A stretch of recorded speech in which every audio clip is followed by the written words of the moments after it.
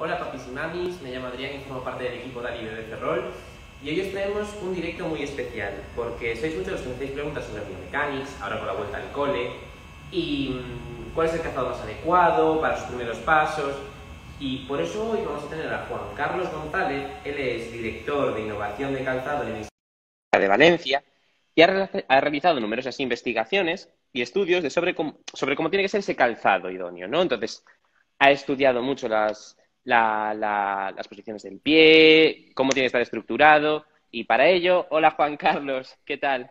Hola, buenas noches. Buenas noches, ¿me escuchas bien? Sí, ¿y vosotros me escucháis bien a mí? Sí, perfecto, perfecto. Le estaba presentando a, te estaba presentando a todos los papis y mamis, ¿vale? Él es eh, director de innovación de calzado en el Instituto Biomecánica de Valencia. Y hoy nos va a hablar sobre el tema del calzado, de sobre todo esos primeros pasos que dan nuestros peques, entonces, para ir entrando un poco en tema, ¿cuál es la relación entre el Instituto de Biomecánica de Valencia y Biomechanics? Bueno, nosotros somos un centro de investigación y nuestra misión es toda esa investigación trasladar a las empresas para que puedan llegar al usuario final.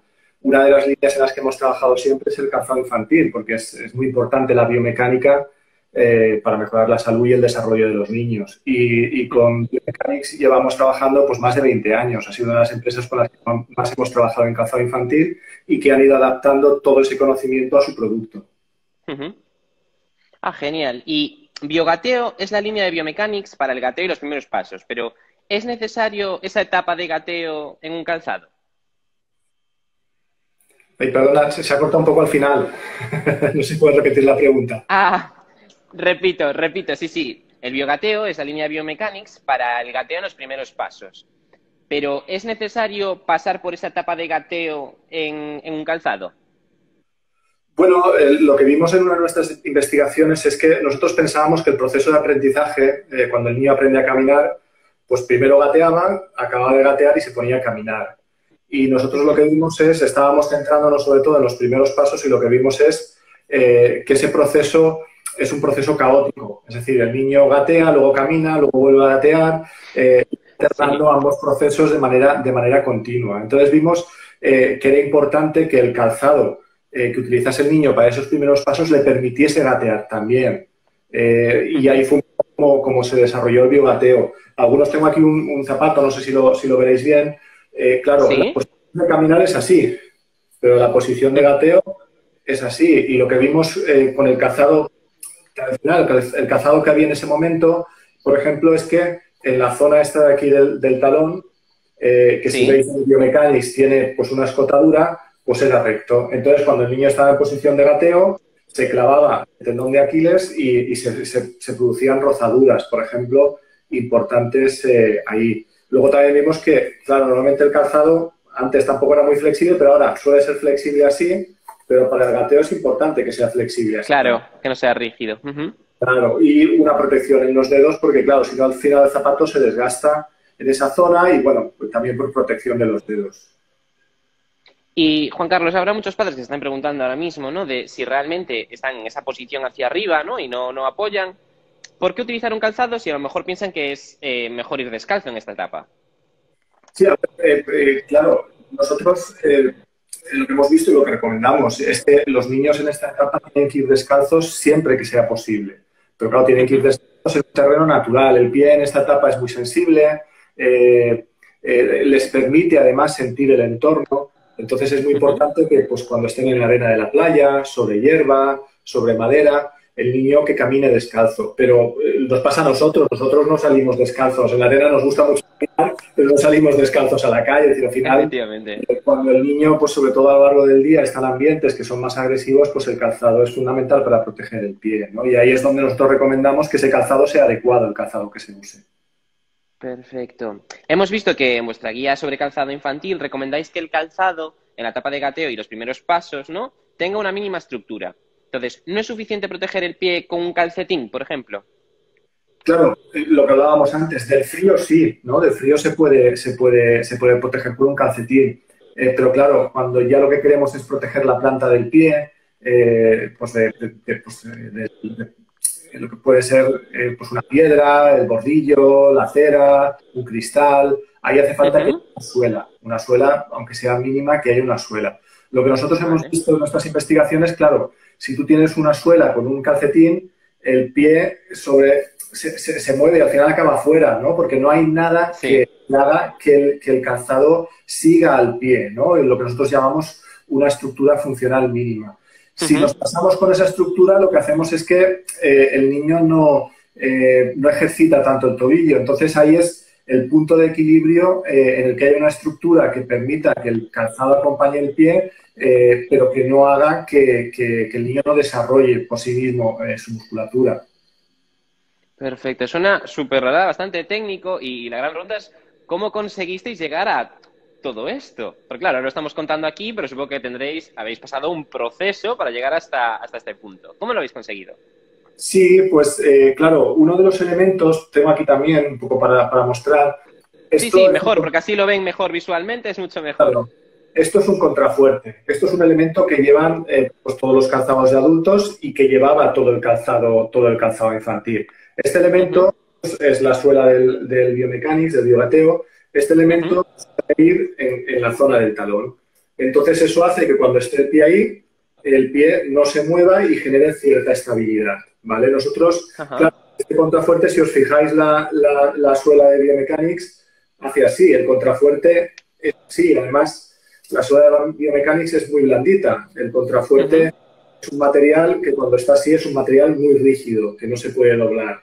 Entonces, eh, claro, uno de los principales retos fue eh, cómo eliminamos el contrafuerte, pero mantenemos esa estructura eh, funcional mínima que decíamos, ¿no? Y ahí, pues bueno, pues trabajando pues con diseñadores biomecánicos, la empresa de calzado, pues llegamos a, una solución que es un, no, no, es un contrafuerte, son unos estabilizadores laterales que son muy flexibles, lo que permiten al final que el pie tenga movilidad, pero eh, lo que estamos haciendo es eh, que el niño mantenga la estabilidad de cuando está eh, caminando descalzo, ¿no? Lo que decíamos antes, nosotros, si el niño descalzo tiene una estabilidad y le ponemos un calcetín con una suela, ese niño pierde estabilidad con respecto a estar, con respecto a estar descalzo. Lo que queríamos con este elemento era que al menos mantuviese la estabilidad que tiene claro. cuando camina descalzo, eh, pero con un zapato que le acompañe para los momentos en los que necesita protección en el pie.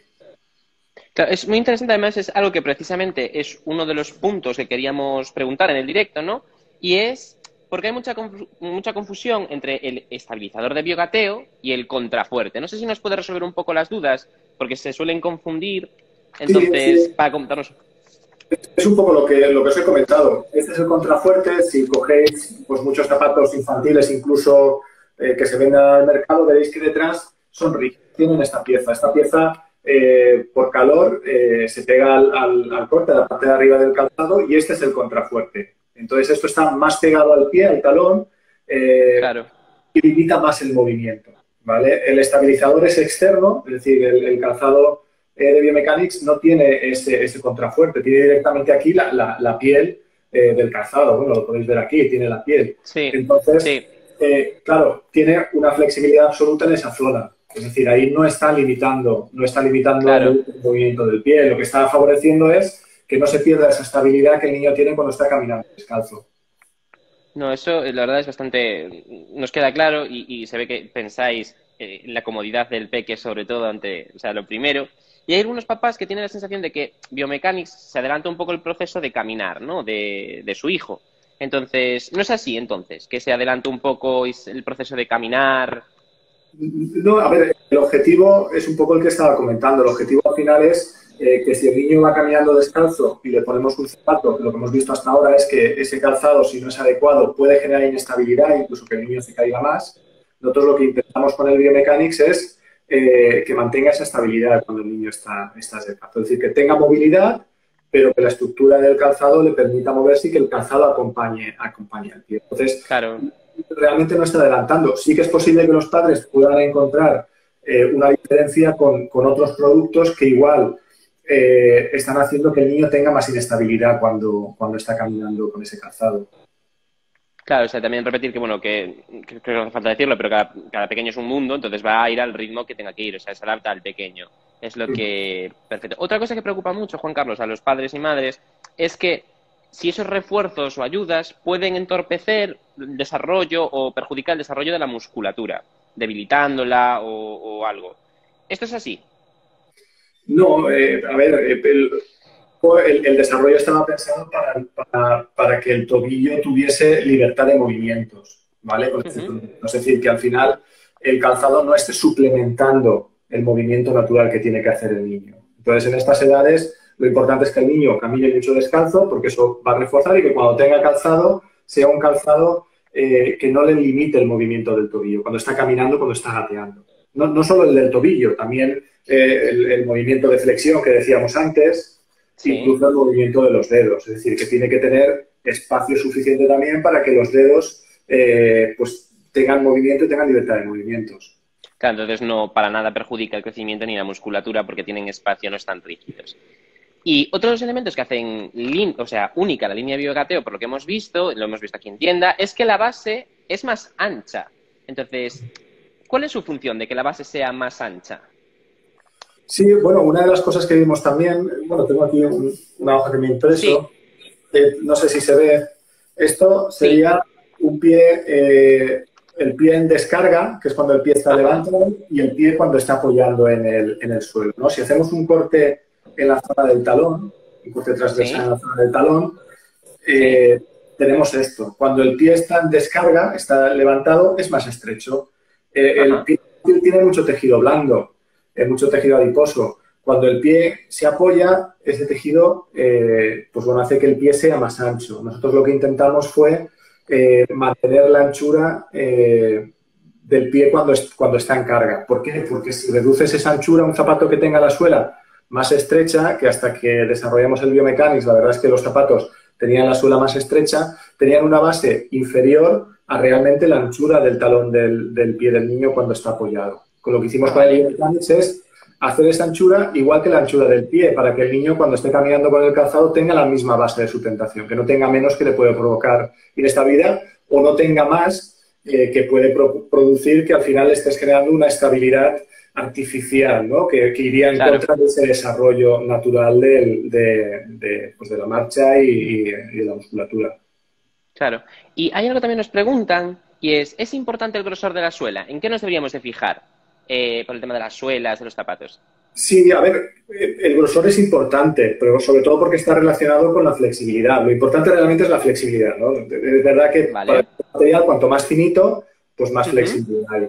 Lo importante es que, eh, pues bueno, con el calzado construido sea, o sea, sea fácil eh, doblar el, zapato, ¿no? Para que al final el, pie del niño, que no tiene tanta fuerza, pues pueda, pueda doblarlo de manera adecuada. Y luego también es muy importante, no sé si se verá, es que, que, se deforme, es decir, que, no solo que se flexione, sino que sea una suela muy blandita que se deforme. Eh, porque eso hace que al final, pues el niño pise una piedra, pise un bordillo, nota y, y al principio decía que, el pie en estas, en estas etapas eh, es como un órgano sensitivo, ¿no? Uno más. Entonces, para que sí. en la medida de lo posible, porque al final tienes una suela que tiene que proteger la planta del pie, pues en la medida de lo posible que sienta, ¿no? Entonces, es que sea una suela muy fina, que sea un material muy blando, flexible. Nosotros además, no sé si se verá, introducimos unas rayas en la zona interior para favorecer eh, eh, la flexión. Ah, vale, vale. Claro, y luego una cosa muy importante también, si se verá, eh, del interior del calzado, eh, el calzado para montarse, en general, claro, eh, tienes que o coser o pegar la suela a, la piel, ¿vale? Entonces, hay una cosa que se llama la plantilla de montaje, que es interna. antiguamente eran de cartón, duro. Claro, eso hace que si la, suela puede ser muy fina, pero si tú metes ahí una pieza que es rígida, el zapato no se va a poder flexionar, ¿no? Entonces, ahí, por ejemplo, en, Biomechanics, eh, eh, pues bueno, eh, propusimos, ellos ya estaban fabricando de esa manera, que lo hiciesen con una plantilla de montaje que se llama textil. Es muy finita y es, como una tela, entonces es muy finita y, muy flexible, ¿no? Entonces, no solo es el grosor, es el material y la plantilla de montaje, que eso si quitáis la plantilla se puede ver si es un cartón eh, no, no, no, es bueno. Tiene que ser no para, para, que, para que el, calzado sea realmente flexible.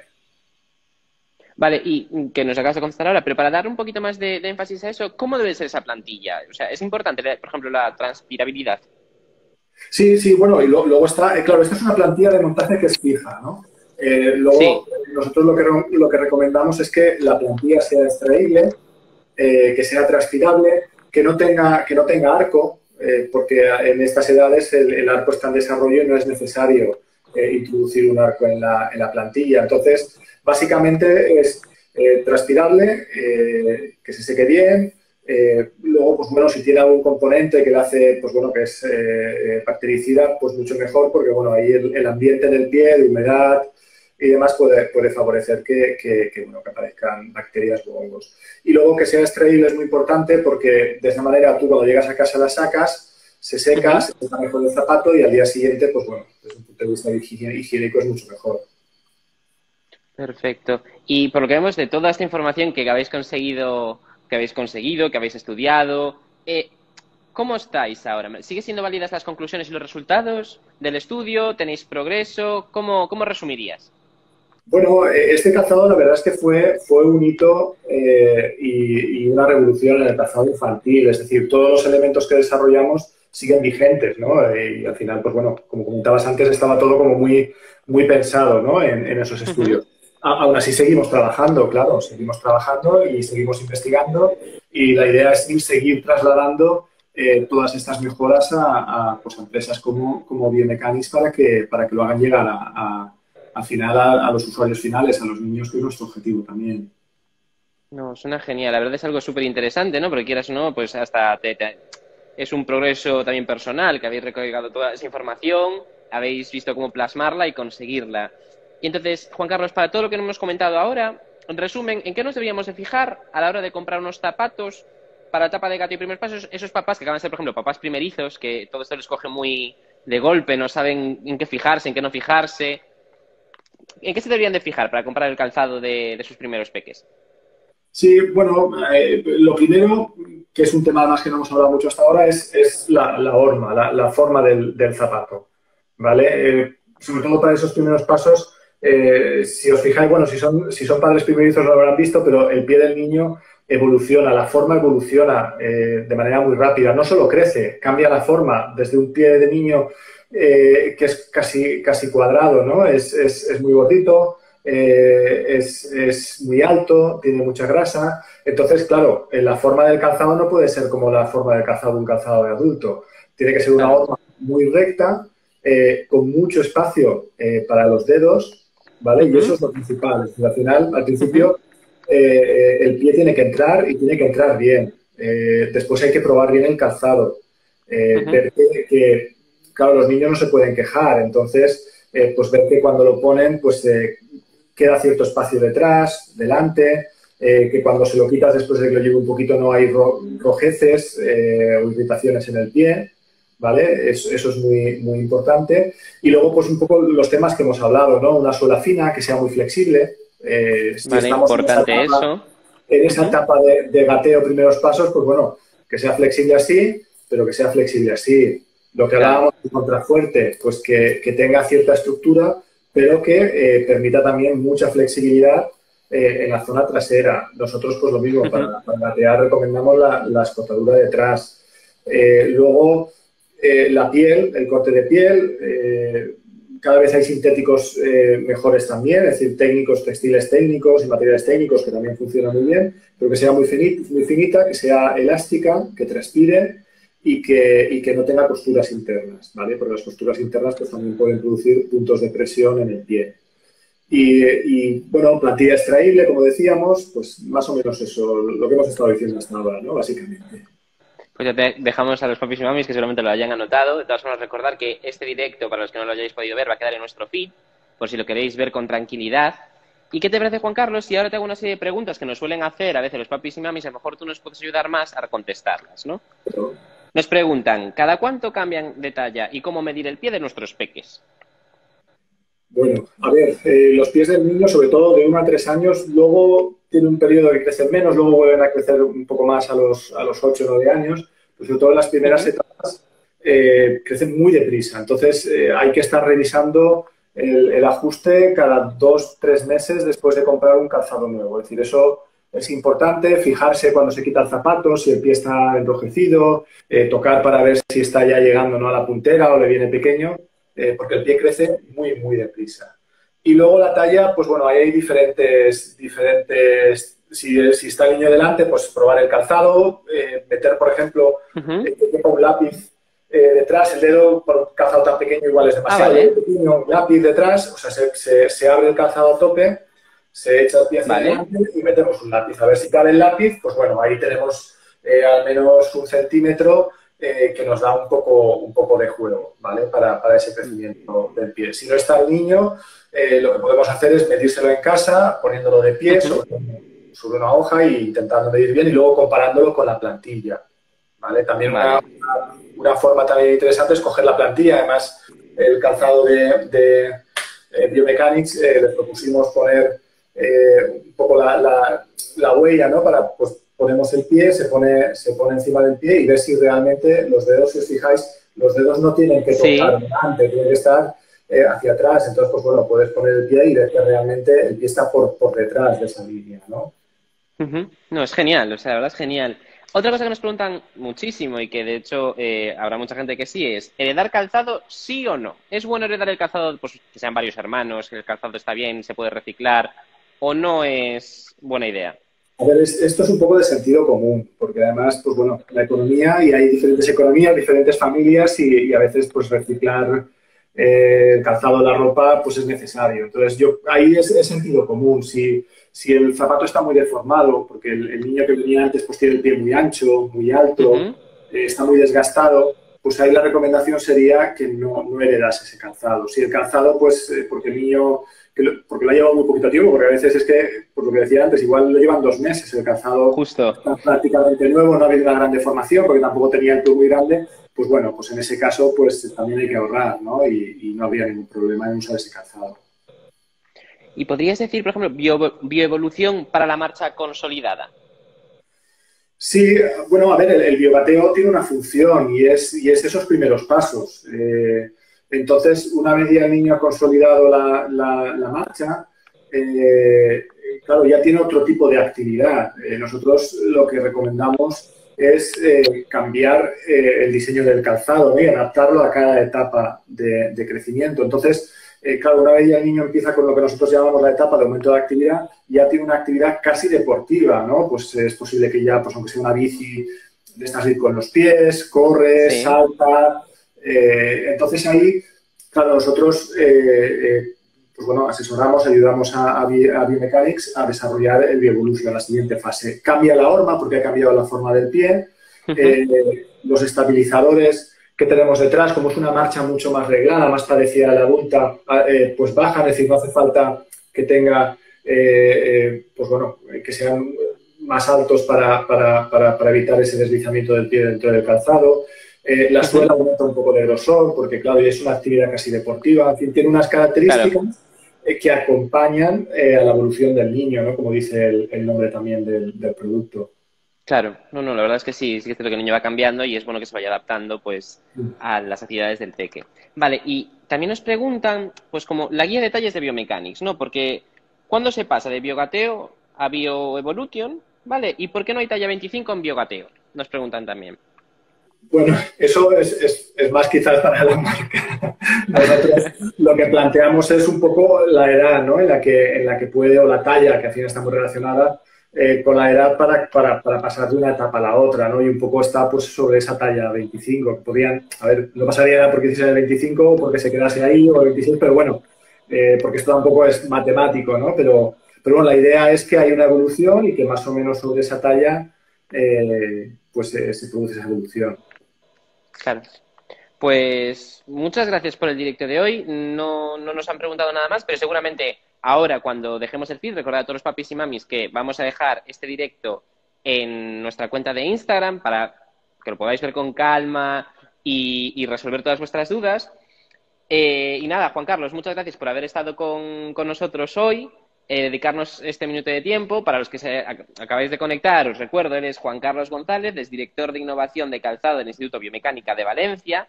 Nos ha dado una masterclass de calzado, la verdad que se agradece mogollón, sobre todo esos papis y mamis que acaban de ser padres primerizos y no saben por dónde ir y leen mucha información y no saben qué, verificación de información, pues ya nos has dado tú hoy una masterclass de cómo seleccionar el calzado.